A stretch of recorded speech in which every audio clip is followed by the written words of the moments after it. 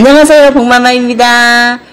구독, 좋아요 꼭 좀 눌러주셔요. 자, 오늘 진행할 물건. 부산광역시 기장군 장안읍 명내리 145-3번지예요. 저희 어, 제가 이제 그 안내해드리는 물건 중에 부산이 별로 없는데 오늘 좀 부산 물건을 좀 하나 알려드리려고 하는데 이거 전이에요. 자, 860평.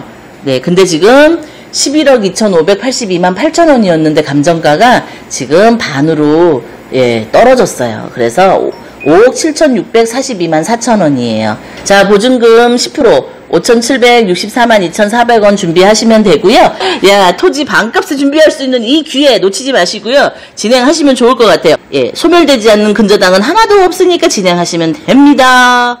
농지 취득 자격증이 꼭 필요해요. 네, 그거 꼭 제출하셔야 되고요. 자, 이 물건은 그 옆에 명내 일반 산업단지가 위치하고 있어요. 그, 그 근처에 있는 땅이니까 좀 저렴하게 낙찰 받으셔가지고 또 잘 활용할 수 있는 방법도 있을지 예, 고민 좀 해보시면 좋을 것 같고요. 현장 다녀와 보셔야 됩니다.